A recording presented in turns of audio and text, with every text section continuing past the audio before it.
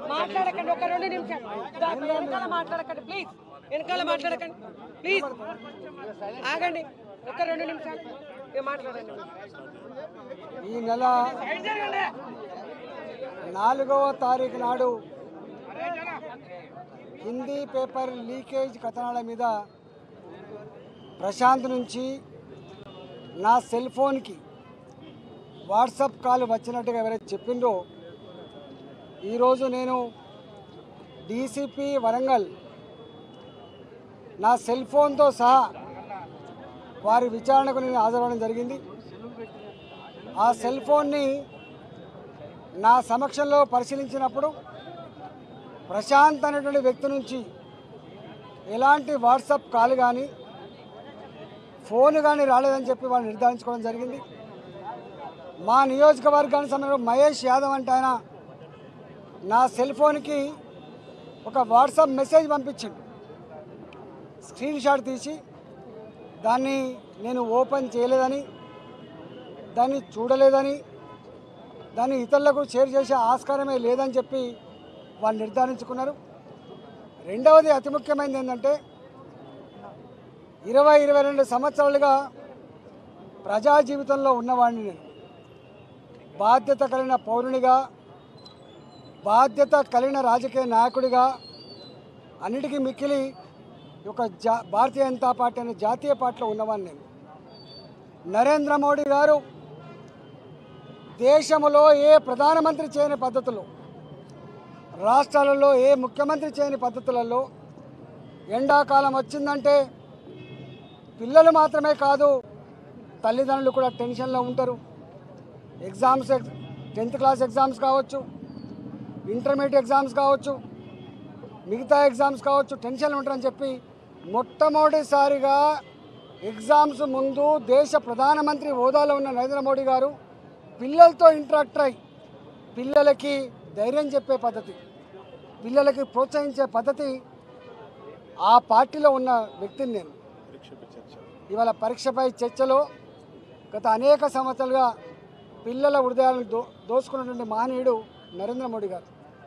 గా పార్టీలో పిల్లల భవిష్యత్తు కోరే పార్టీలో ఉండి పిల్లల క్షేమం కోరే పార్టీలో ఉండి నాలాంటి వాడిని ఇట్లాంటి పని చేయనని చెప్పి మొదలు చెప్పిన ఇవాళ మళ్ళీ చెప్తున్న తెలంగాణ ప్రజలారా ఇవాళ తొమ్మిదిన్నర గంటలకు పరీక్ష మొదలైతే పదకొండు గంటలకో పదకొండున్నరకో పేపర్ లీక్ అయిందనేటువంటి మాట అయితే ఉందో అది పచ్చి అబద్ధం. దాన్ని లీకేజ్ అన్నారు. దాన్ని ఆయా సెంటర్లలో ఏ సెంటర్లో అయితే పిల్లలు ఎగ్జామ్స్ రాస్తారో ఆయా సెంటర్లో జరిగే మాల్ ప్రాక్టీస్గా ఉంటుంది తప్ప ఇది పేపర్ లీకేజ్గా ఉండేటువంటి ఆస్కారం లేదని చెప్పి మనం చేస్తా కానీ ప్రభుత్వం కేసీఆర్ ప్రభుత్వం ప్రగతి భవన్లో కూర్చొని ఇట్లనన్నా వీళ్ళు ఇరికియాలి. వీళ్ళు ప్రజలలో తిరుగుతున్నారు. ప్రజల్ని ఐక్యం చేస్తూ ఉన్నారు. రేపు నా ప్రభుత్వాన్ని ఓడగొట్టేటువంటి దాంట్లో వీళ్ళు క్రియాశీలకంగా ముందుకు పోతున్నారు పురోగమిస్తున్నారని చెప్పి భావించి కుట్రపూరితంగా కుట్రపూరితంగా తన చేతిలో ఉన్న అధికారాన్ని అడ్డం పెట్టుకొని మా మీద తప్పుడు కేసులు పెట్టించే ప్రయత్నం చేయడమే కాకుండా ఇవాళ అప్పటికే మీకు తెలుసు తెలంగాణ వ్యాప్తంగా ముప్పై లక్షల మంది ఉద్యోగాల కోసం సంవత్సరాల తరబడి చదివితే ఇవాళ వాళ్ళ కళ్ళ ముందే వాళ్ళ ఆశలన్నీ కూడా ఆవిరైపోయినాయి.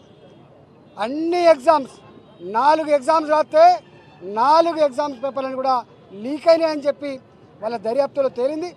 జరగాల్సినటువంటి రెడ్ ఎగ్జామ్స్ కూడా ఇవాళ లీక్ అయినాయని చెప్పి బాధ్యత వల్ల ఎంక్వైరీ తేలింది.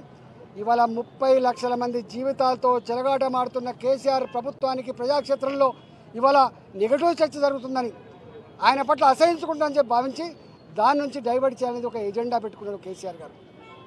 రెండవ ఎజెండా జైల్లో ఉన్న చంద్రశేఖర్ గారు.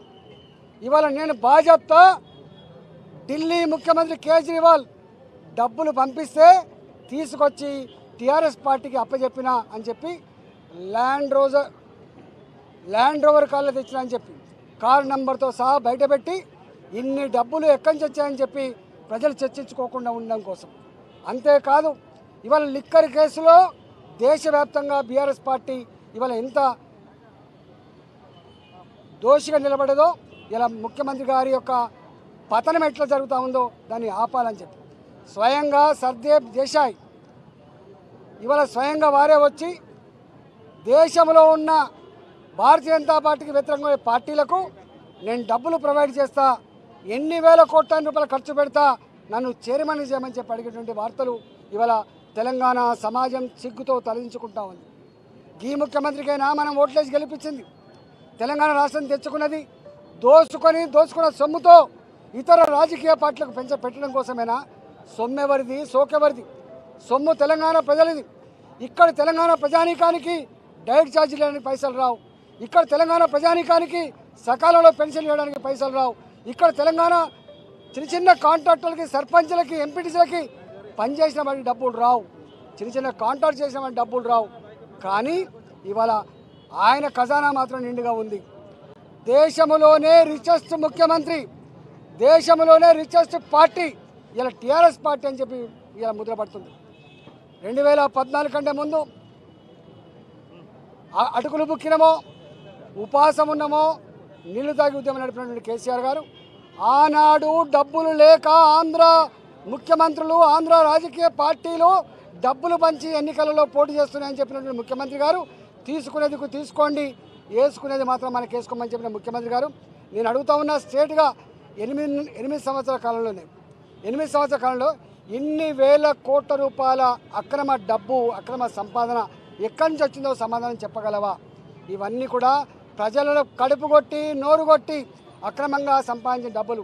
ఇసుక దందాలు కావచ్చు మట్టి దందాలు కావచ్చు కాంట్రాక్ట్లు కావచ్చు ఇంకో రూపం కావచ్చు మద్యం దందాలు కావచ్చు ఏదో రూపంలో ఇవాళ దందాలు చేయడమే కాకుండా చివరికి యాభై ఏళ్ళుగా నలభై ఏళ్ళుగా ఏ అసైన్మెంట్ భూములు అయితే పేదలకు ఇచ్చిందో అసైన్మెంట్ భూములను కూడా గుంజుకొని ఇలా అక్రమ దందాలు చేసే ప్రయత్నం చేస్తున్నారు.